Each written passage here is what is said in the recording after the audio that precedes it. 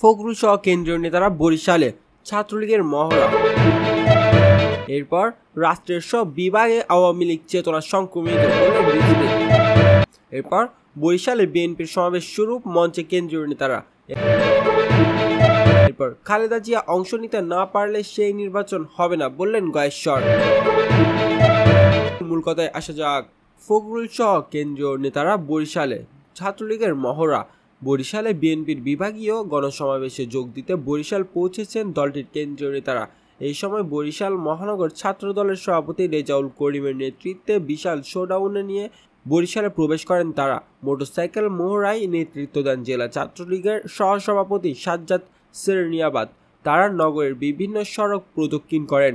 সাজ্জাদ সেরনিয়াবাদ বলেন, বরিশালে বিএনপি একটি নাটকীয় সমাবেশের আয়োজন করছে। সমাবেশকে কেন্দ্র করে সাধারণ মানুষকে বিভ্রান্ত করা হচ্ছে।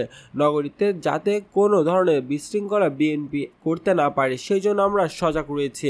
বরিশাল মহানগর ছাত্রলীগের সভাপতি রেজাউল করিম রনি বলেন, কেন্দ্রীয় নেতারা বরিশালে এসেছেন, এবারের আন্দোলন সরকার পতনের। অপরদিকে বিকালে সমাবেশ স্থল বঙ্গবন্ধু উদ্যান থেকে নগরীতে সমাবেশ সফল করতে মিছিল করেছে ছাত্রদল।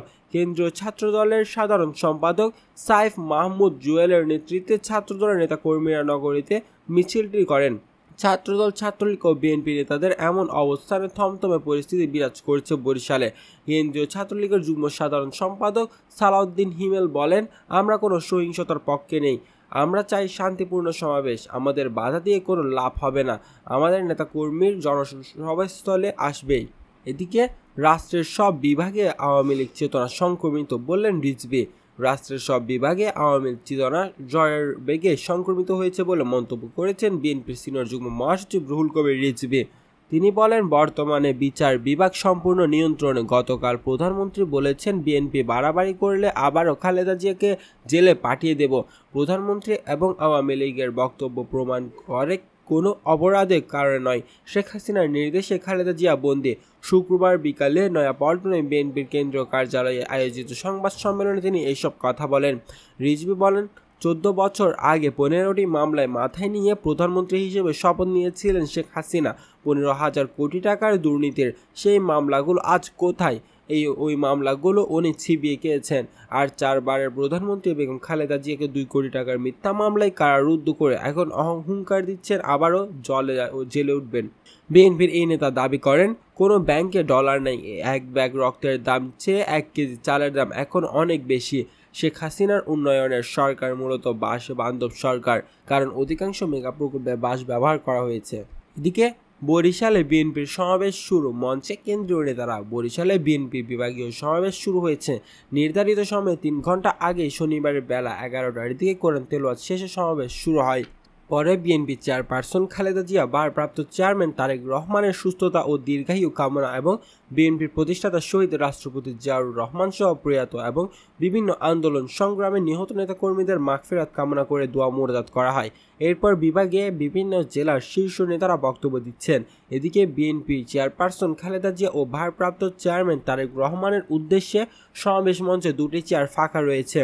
বরিশাল মহানগর বিএনপির সদস্য সচিব অ্যাডভোকেট মীর জাহিদুল কবির জাহিদ জাগো নিউজকে বলেন, বাস লঞ্চ ধর্মঘটের পরও সকাল নয়টার আগে কানায় কানায় ভরে গেছে বিশাল বেলস পার্ক ময়দান। মানুষ আশেপাশের রাস্তাঘাটে দাঁড়িয়ে নেতাদের বক্তব্য শুনতে অপেক্ষা করেছিলেন।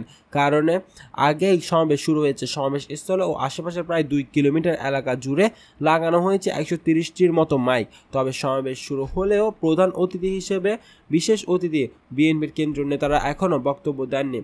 অপরদিকে সমাবেশ স্থল আশেপাশের যে কোনো অপ্রীতকর পরিস্থিতি এড়াতে বিপুল সংখ্যক পুলিশ মোতায়েন আছে। এদিকে সমাবেশ স্থল ও তার আশেপাশে মোবাইল ফোন ও ইন্টারনেট নেটওয়ার্কের লাইনে বিভ্রাট দেখা দিয়েছে। বেলা এগারোটা থেকে সমাবেশস্থল অবস্থানকারীর মোবাইল ফোন ও ইন্টারনেট সংযোগ পাচ্ছে না বলে অভিযোগ করেছেন। এদিকে খালেদা জিয়া অংশ নিতে না পারলে সে নির্বাচন হবে না বললেন গয়েশ্বর। যে নির্বাচনে খালেদা জিয়া অংশ নিতে পারবেন না, সেই নির্বাচন বাংলাদেশের জনগণ হতে দেবে না বলে মন্তব্য করেছেন বিএনপির স্থায়ী কমিটির সদস্য গয়েশ্বর চন্দ্র রায়।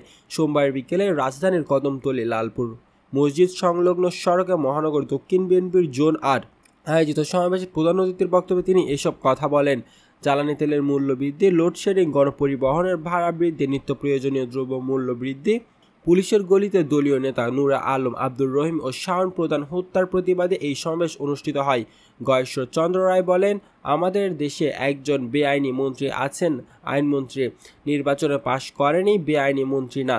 তিনি বলেছেন, আগামী নির্বাচনে খালেদা জিয়া অংশ নিতে পারবে না। আইনমন্ত্রী বেআইনি ভাষায় কথা বলা বন্ধ করুন। নিজে আইন মতো সরকারের আসেননি। এসেছেন বেআইনিভাবে। সুতরাং পথ খোলা আছে, এখনও সময় আছে জনগণের ক্ষমতা, জনগণের কাছে দিয়ে সোজা ঘরে ঢুকে যান। বিএনপি স্থায়ী কমিটির এই নেতা বলেন, এখন থেকে আমরা তালিকা করব কোনো কোনো সরকারি কর্মচারী, কর্মকর্তা অন্যায়ভাবে শেখ হাসিনাকে ক্ষমতায় টিকিয়ে রাখার চেষ্টা করছেন। আপনারা জনগণের টাকায় চলেন, আপনার সন্তান লেখাপড়া করে। সুতরাং জনগণের বিরুদ্ধে যাবেন না। শেখ হাসিনার পক্ষে থাকলেও কারোর জন্য মঙ্গল না, দেশের জন্য মঙ্গল। তিনি বলেন আমাদের প্রথম দাবি শেখ হাসিনার পদত্যাগ, দ্বিতীয় দাবি এই পার্লামেন্ট বাতিল, তৃতীয় দাবি এই নির্বাচন কমিশনকে বিতাড়িত করতে হবে। চতুর্থ দাবি, নির্দলীয় নিরপেক্ষ সরকারের অধীনে সুষ্ঠু অবাধ নির্বাচন যার ভোট সে দেবে, যাকে খুশি তাকে দেবে। তার জন্যই আমাদের আন্দোলন এই সংগ্রাম, বিএনপির একক সংগ্রাম নয়। এই দাবি জনগণের দাবি, জনগণ বিএনপির পাশে আছে। সফল আমরা হব, বিজয় হব, অতীতের সব ফ্যাসিবাদী সরকার জনগণের হাতে বিদায় নিয়েছে, এই সরকারও বিদায় নিতে হবে। সেই বিদায় কতটা করুণভাবে নিবে নাকি স্বাভাবিকভাবে নিবে সেই সিদ্ধান্ত শেখ হাসিনাকে নিতে হবে। এদিকে ইশাকের গাড়িবহরা হামলা, বরিশালে বিএনপি সমাবেশে যাওয়ার পথে বিএনপি নেতা ইশাক হোসেনের গাড়িবহরা হামলার অভিযোগ পাওয়া গেছে। এই সময় বেশ কয়েকটি গাড়ি ভাঙচুর করা হয়েছে। গাড়িতে থাকা কয়েকজন নেতা কর্মীও আহত হয়েছেন। এছাড়া মুক্তিযুদ্ধ দলের সভাপতি ইশতিয়াক আজিজ উলফাতকেও বরিশালে যেতে দেওয়া হয়নি। গৌর নদী থেকে তার গাড়ি ডাকার দিকে ঘুরিয়ে দেওয়া হয়েছে। সংশ্লিষ্ট সূত্র জানায়, বিএনপি আন্তর্জাতিক বিষয়ক কমিটির সদস্য ও ঢাকা দক্ষিণ বিএনপির নেতা ইশাক হোসেন বরিশাল বিএনপি সমাবেশের উদ্দেশ্যে ঢাকা থেকে একটি গাড়ি বহর নিয়ে রওনা হন। পথে ব্যাপক বাধার সম্মুখীন হয় তার গাড়ি বহরটি। একসময় গাড়ি বহরটি বরিশালের কাছাকাছি গরু নদীর মহিলারা বাজারে পৌঁছালে সেখানে হামলা করেন দুর্বৃত্তরা। হামলায় ইশরাক হোসেন অক্ষত থাকলেও বাংচুর করা হয়। তার গাড়ি বহরের বেশ কয়েকটি গাড়ি। ওই সব গাড়িতে থাকা কয়েকজন নেতা কর্মী আহত হয়েছে বলেও খবর পাওয়া যায়। গাড়িবহর হামলার বিষয়টি নিশ্চিত করে ইশরাক হোসেন বলেন, আমাদের সমাবেশগুলোতে সাধারণ মানুষের অংশগ্রহণ সরকারকে ভীত করেছে। জোয়ার আটকাতে না পেরে সমাবেশ স্থলে যাওয়ার পথে স্থানীয় আওয়ামী লীগ ও যুবলীগ ছাত্রলীগের দিয়ে বাধা সৃষ্টি করছে। কাপুরুষের মতো রাতের আধারে গাড়ি বহরের চোরা গুপ্তা হামলা করে পালিয়ে যাচ্ছে। এর মাধ্যমে আমাদের নেতাকর্মীদের মনে ভীতি সঞ্চারের অপচেষ্টা করছে। কিন্তু আমরা দমে যাওয়ার পাত্র নই। সব বাধা মোকাবেলা করে টিকি সমাবেশস্থলে এগিয়ে যাচ্ছি।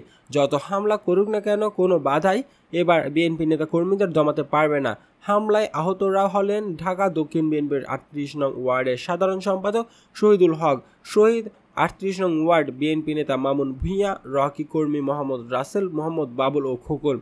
চল্লিশ নং ওয়ার্ড, বিএনপি নেতা ইমরান বিয়াল্লিশ নং ওয়ার্ড, যুবদল সদস্য সচিব মাসুদ রানা সোহরাওয়ার্দী কলেজ ছাত্রদল নেতা রাকি ও আল মামুন প্রমুখ।